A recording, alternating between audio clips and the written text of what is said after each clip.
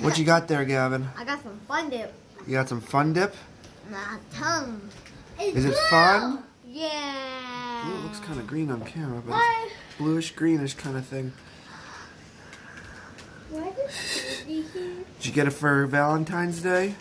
What is this? Yeah. Yeah. What is candy here? You look like you've had We got more candy. you. You look like a. A pig. You look like George the Animal Steele. Do you know how who that is? no. No, he was an old wrestler. He would um.